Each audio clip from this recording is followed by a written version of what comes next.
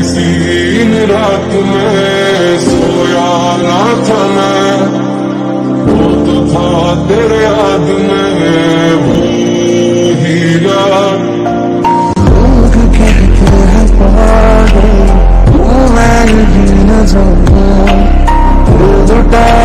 मैंने, अब किसी की न मान